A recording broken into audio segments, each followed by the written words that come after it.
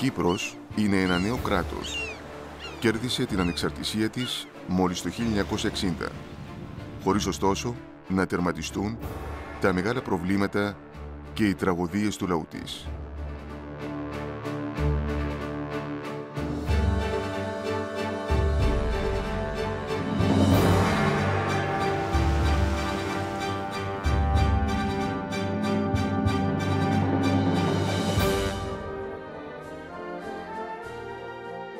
Η Κύπρος, ως κράτος, πήρε μέρος για πρώτη φορά στους Ολυμπιακούς Αγώνες της Μόσχας το 1980.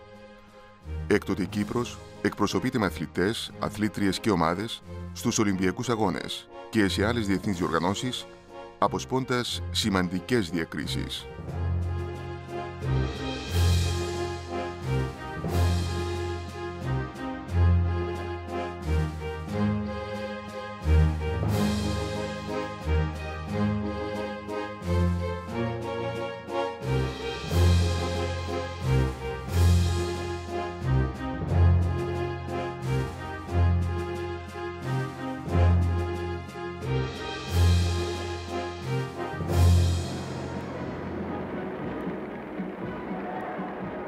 Και παλαιότερα η Κύπρος ανέδειξε αξιόλογους αθλητές, αρκετοί από τους οποίους αγωνίζονται με τα χρώματα της Ελλάδος.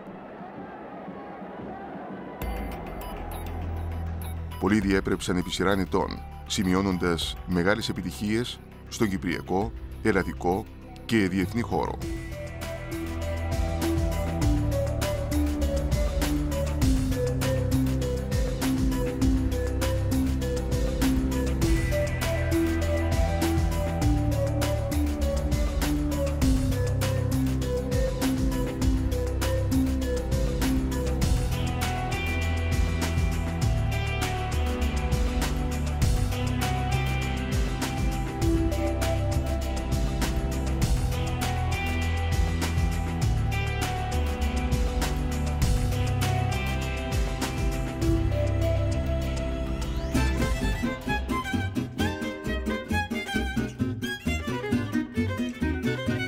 Στην πρώτη διοργάνωση των νεότερων Ολυμπιακών Αγώνων στην Αθήνα το 1896 σημειώθηκε η πρώτη διάκριση.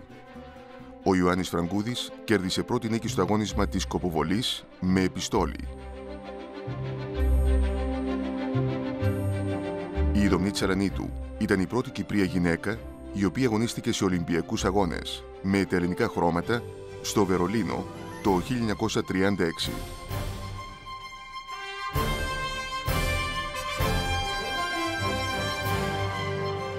Ο Στέλιος Κυριακίδης θριάμβευσε, κερδίζοντας το Διεθνή Μαραθώνιο της Βοστόνης το 1946.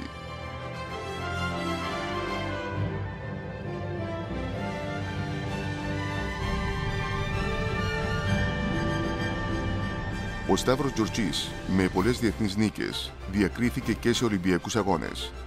Κατετάγει έκτος στο Μόναχο το 1972 στα 400 μέτρα με εμπόδια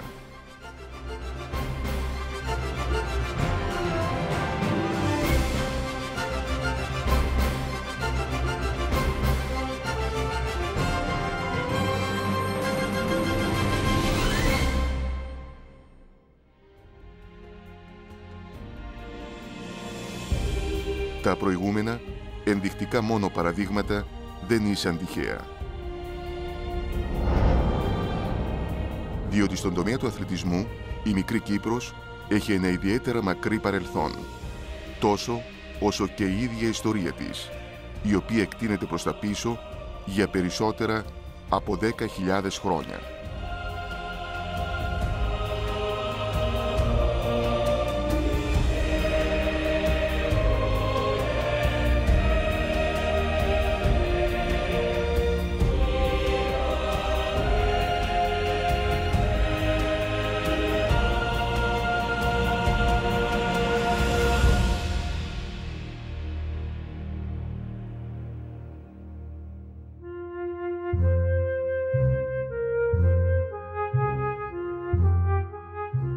Προϊστορικοί Κύπροι ήσαν γεωργοί, κυνηγοί και ψαράδες.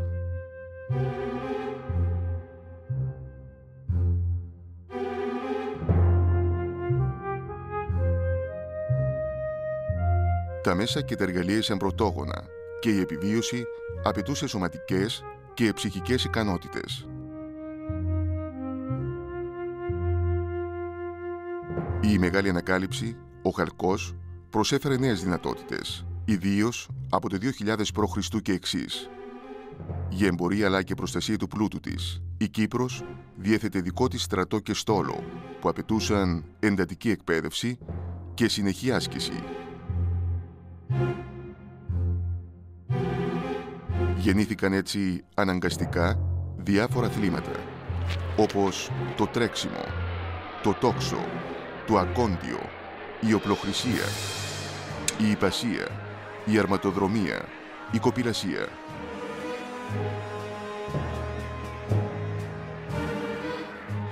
Κατά την κλασική και τις μετέπειτα εποχές, οι διάφορες αυτόνομες πόλεις της Κύπρου διέθεταν τις δικές τους αθλητικές εγκαταστάσεις.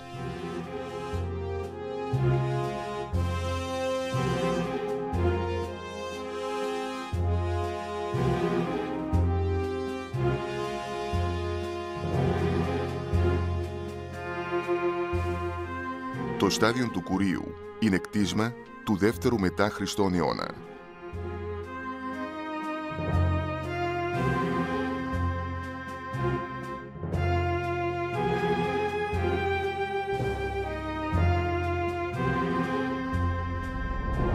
Είχε μήκος 229 μέτρα και πλάτος 24. Με τρεις εισόδους διέθετε 7 σειρές κερκίδων και ήταν χωρητικότητας 6.000 θεατών. Διεξάγοντας αυτό, αγώνες δρόμου και πεντάθλου που περιλάμβαναν άλματα, πάλι, δισκοβολία και ακοντισμό.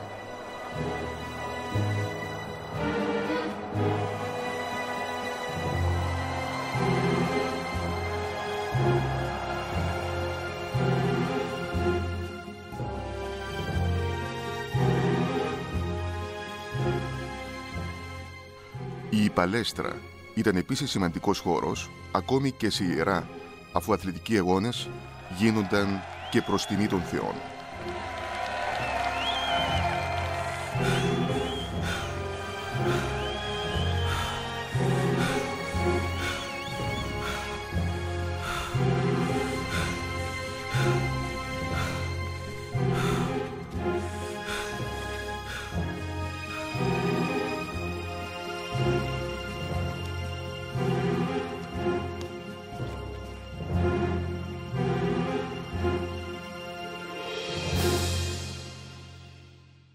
Το γυμνάσιο ήταν ο κύριος χώρος άσκησης, σωματικής και πνευματικής, των νέων. Ήταν ένας πλούσια κοσμημένος και πολυτελής χώρος για έλκυση των νέων.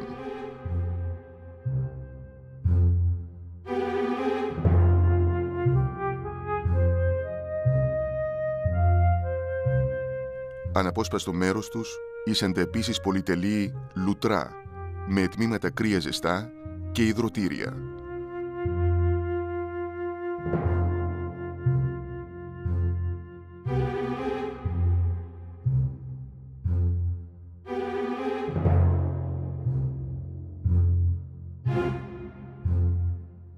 Ιδιαίτερα σημαντικό και τιμητικό αξίωμα σε κάθε πόλη ήταν εκείνο του γυμνασιάρχου. Ήταν ο αξιωματούχος που είχε την όλη ευθύνη ομαλής λειτουργίας των αθλητικών εγκαταστάσεων και την επίβλεψη εκπαίδευσης των νέων, σωματικής και πνευματικής. Ανάλογο ήταν και το αξίωμα του εφήβαρχου, υπεύθυνου για την εκπαίδευση των παιδιών.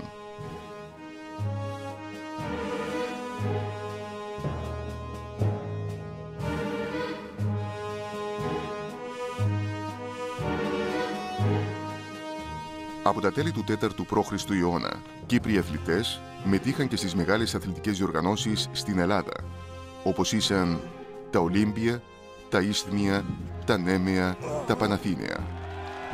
Από επιγραφές γνωρίζουμε τα ονόματα μερικών Κυπρίων αθλητών σε τέτοιους αγώνες. Μεταξύ τούτων ήταν ο Ηρακλήδης από τη Σαλαμίνα,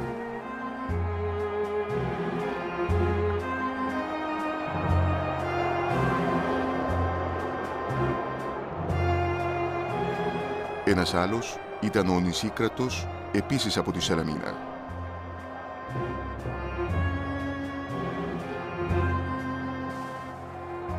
Και οι δύο ήσαν νικητές στο στάδιο, δηλαδή στο δρόμο 192 μέτρων σε δύο Ολυμπιάδες.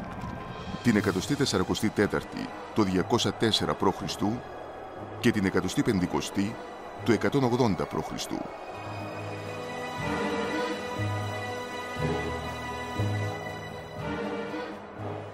πλέον αξιόλογος γνωστός Κύπριος αθλητής υπήρξε ο Δημήτριος ο Σαλαμίνιος, τρίτος μετά Χριστόν αιώνα, που κέρδισε πρώτες νίκες στο στάδιο σε τρεις Ολυμπιάδες και οι άλλες δύο στο πένταθλο.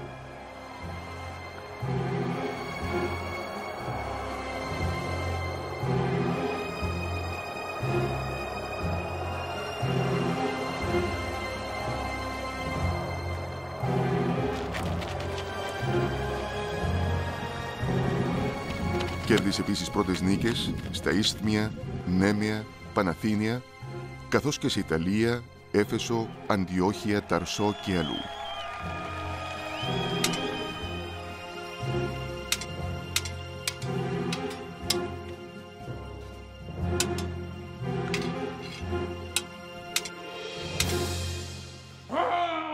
Κατά τη ρωμαϊκή περίοδο γνωρίζουμε από παραστάσεις σε ψηφιδωτά δάπεδα ότι γίνονταν και αγώνες οπλομαχίας.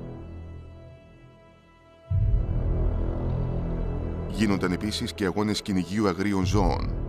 Προς τούτο, Κύπροι κυνηγοί ταξίδευαν ακόμη και στην Αφρική. Κατά τη μακρά βυζαντινή περίοδο και αργότερα, οι Κύπροι είχαν απολέσει την άμεση σχέση με τον αθλητισμό. Κατά την περίοδο της Φραγκοκρατίας 1192-1489, οι αθλητικοί αγώνες αποτελούσαν προνόμιο μόνο της τάξης των ευγενών, στην οποία δεν ανήκει ο ντόπιος πληθυσμός. Κατά τη μακρά περίοδο της Οθωμανικής κατοχής 1570-1878, μοναδικός αγώνας των Κυπρίων ήταν εκείνος της πάλης με τη γη τους για επιβίωση.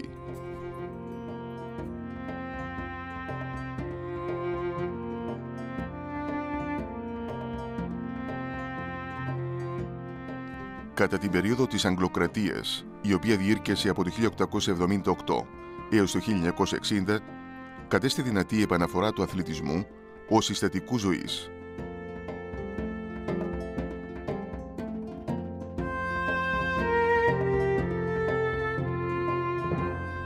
Σε όλες τις πόλεις της Κύπρου άρχισαν να κατασκευάζονται στάδια και να ιδρύονται γυμναστικοί σύλλογοι και σωματεία. Σε αυτή την περίοδο, ο Κυπριακός αθλητισμός, παρά τις αντίξωες συνθήκες και τις τεράστιες δυσκολίες, κατόρθωσε να αναπτυχθεί.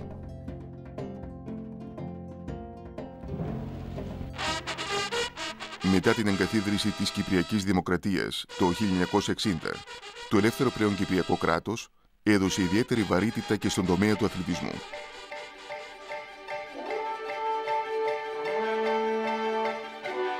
Με καλύτερες δομές και οργάνωση πραγματοποιήθηκαν σημαντικά βήματα πρόοδου. Σημειώθηκαν εξόλογες επιτυχίες τόσο σε ομαδικό όσο και σε ατομικό επίπεδο.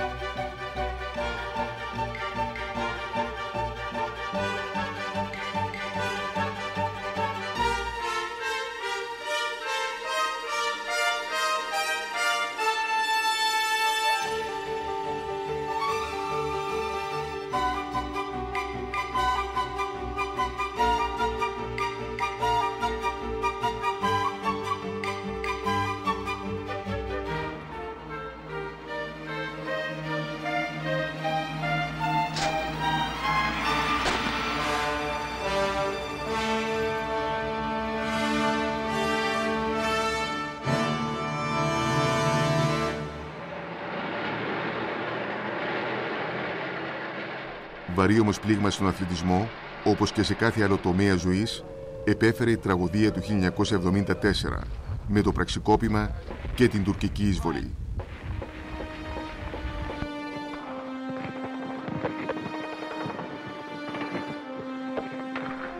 Η τουρκική στρατιωτική εισβολή που σκόρπισε τον όλεθρο και την καταστροφή διχοτόμησε την Κύπρο και έκτοτε το 37% του νησιού παραμένει κατεχόμενο. Μεταξύ όλων των άλλων, απολέστησαν στάδια και άλλες αθλητικές εγκαταστάσεις. Το στάδιο Γασιέ της Αμοχώστου, το στάδιο Γάσι Πράξενδρος της Κερίνιας, τα στάδια της Λύσης, της Μόρφου και αρκετά άλλα. Έκτοτε, κάποια από αυτά παραμένουν βουβά και σε κατάσταση ερήμωσης.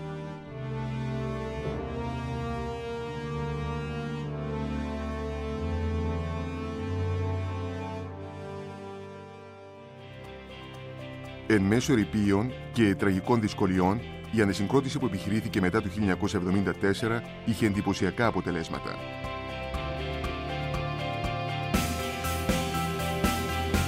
Έκτοτε, ο Κυπριακός Οργανισμός Αθλητισμού, ως η ενότατη αθλητική αρχή του τόπου, προωθεί με κάθε δυνατό τρόπο το αθλητικό ιδιώδες και το αθλητικό πνεύμα. Αυτό γίνεται σε συνεργασία με τους διάφορους φορείς, ειδικότερα την Κυπριακή Ολυμπιακή Επιτροπή και τις Εθνικές Ομοσπονδίες.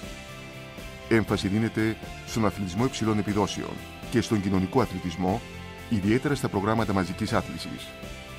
Επίσης, η δημιουργία της κατάλληλης σύγχρονης υποδομής είναι προτεραιότητα και προϋπόθεση.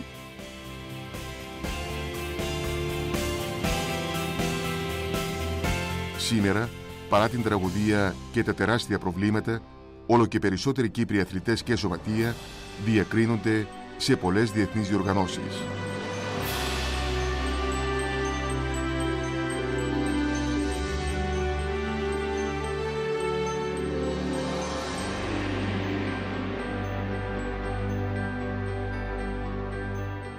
Η τεράστια προσπάθειά τους, το αγωνιστικό τους πνεύμα, η πίστη και το πείσμα τους έχουν εμπνευστεί και βοηθό αυτό τούτο το παρελθόν της πατρίδας τους. Μια αθλητική ιστορία αιώνων.